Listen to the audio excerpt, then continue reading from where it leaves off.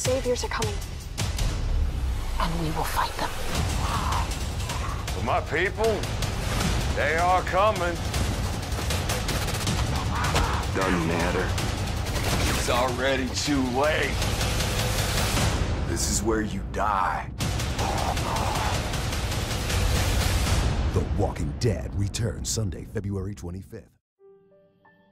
Hey guys, Kiwi here. In this video, I'll be breaking down and analyzing the newest promo trailer for Season 8 Episode 9 of The Walking Dead, the Season 8 mid-season premiere. With that being said, warning and spoilers for everything the show up to the most recent episode, Season 8 Episode 8, and let's jump right into this. Alright, now it is officially February and AMC is rolling out more Walking Dead teasers. I assume we'll be getting more throughout the month leading up to the return of the show on the 25th, but this brand new 30 second promo trailer is definitely a great start. Alright, so the promo starts out with a few shots of Alexandria, which is destroyed and burning. The first shot just shows the neighborhood on fire, while the second shot shows Rick and Michonne carrying Carl, which I believe is actually the same shot from a promo image recently released through Entertainment Weekly. So about Carl. I've mentioned this before, so to make a long story short, they want to get Carl out of the sewers so he can die above ground in Alexandria instead of in some gross, dark, depressing sewer.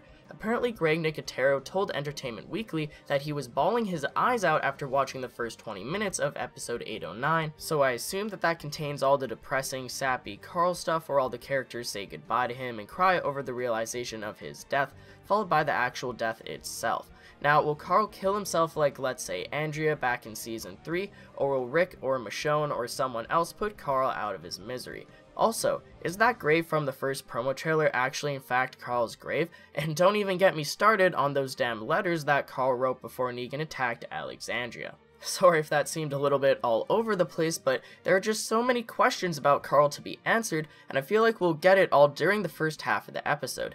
Episode 809 is confirmed to be an extended 82 minutes long episode, so I feel like the Carl stuff will only last the first half of the episode at most, while the second half of the episode will focus on the Alexandrians saying goodbye to Alexandria as a whole as they relocate to the hilltop for the rest of the war. Speaking of which, clips show Daryl waving through the group of Alexandrians in the woods as it looks like we'll see a few brief moments of their travels from Alexandria to the hilltop. Is this just what we saw in the first promo trailer with all the Alexandrians wandering through the woods? Now, in the first trailer, it looked like they were chasing something. They were all running, while here it looks like they're carefully traveling to the hilltop, so we'll have to wait and see if it's the same situation or not, because I'm pretty sure that they literally show the same clip of Siddiq and Daryl running through the woods that was in the first trailer, so we'll just have to wait and see what causes them to run in the woods in general. Are they chasing something? Is Dwight trying to run away for some reason? Or are they just being attacked by zombies? Like, what's going on there? Anyways, next up we see Maggie, and this first clip of her was shown in the first promo trailer, but now that I think about it, is this her noticing the Alexandrians walking up to the hilltop? Also, we get a second clip of Maggie that shows her walking through the hilltop with a group around her. We see Alexandrian Scott, I believe, some hilltop soldier, uh, that Kingdom Archer, uh, Dianne, I believe her name is, and Jerry. I wasn't actually sure if Simon gave Jerry back to them or if he kept Jerry as a hostage, but I guess that this settles it. They let Jerry go. The next clip shows Michonne talking to Enid behind the top of the hilltop walls, so that confirms that they both get to the hilltop. Enid tells Michonne that the saviors are coming, and that just reminds me of when Kal yelled, the saviors are coming at the hilltop last season, but more importantly, I wanted to focus on Enid here. We last left off on a cliffhanger with her and Aaron at Oceanside, as Enid had just shot and killed their leader Natania since she was attacking Aaron and threatening his life. It looks like Enid is safe and back at the hilltop, but where is Aaron? Where are the people from Oceanside? I might create a full video about this now that we have more info on Enid, but let me know what you guys think down in the comments section below. Did they take Aaron hostage or something? The next clip shows yet another angle of what looks like Negan explaining his idea to put zombie guts on savior weapons to effectively poison them.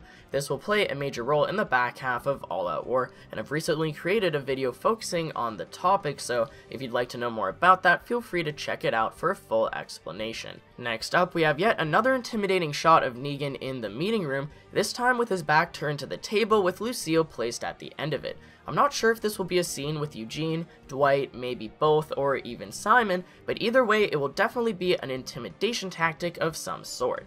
Now, what we see next, I'm going to create an entire video on, but we get teased what looks like Rick and Michonne going to confront Jadis for possibly the final time. We can see them walking through a shipping crate, and I believe that this is the same shipping crate that Jadis uses as their front entrance at the junkyard.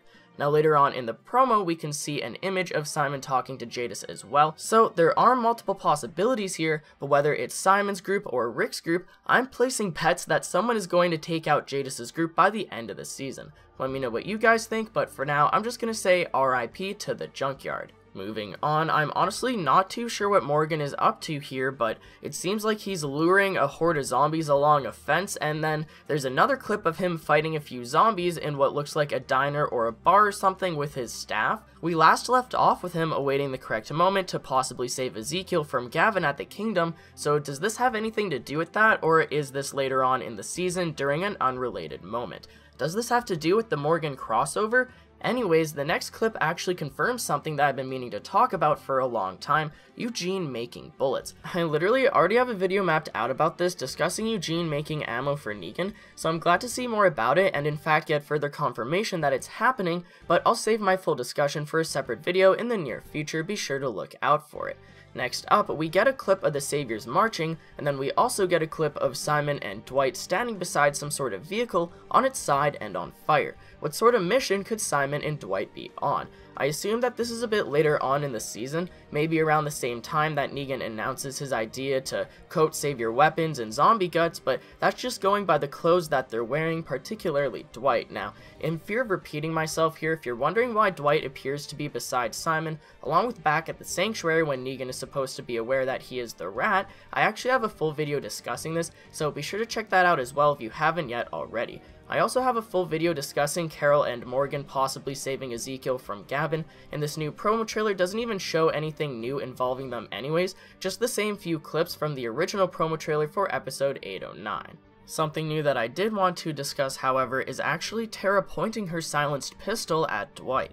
It makes sense that we'd have more Dwight, Tara, and Daryl conflict in the following few episodes, as just a few episodes ago, Daryl and Tara were planning on murdering Dwight together. They've kept him alive due to him proving himself useful on multiple accounts, but I could easily see Tara flipping out at him if he even looks at her wrong, let alone saying the wrong thing. I'm glad that we're getting this Tara-Dwight confrontation, and hopefully they'll be able to at least work things out a little. Now when you listen to the dialogue going on in the trailer, you first hear Negan saying, my people are coming, and then towards the end of the trailer you hear Rick saying, it doesn't matter, it's already too late, this is where you die. So is this Rick responding to Negan? They both look like they're in some sort of rundown building or warehouse, so is this the Sanctuary or somewhere else? Are we actually getting teased a Rick versus Negan standoff right here? Also, at the very end of the trailer, we can see what looks like Enid collapsing to her knees as she cries, so is this her finding out that Carl is dead, or does this have something to do with Aaron? It looks like there's tents with people behind her, so maybe that's people camping out at the hilltop,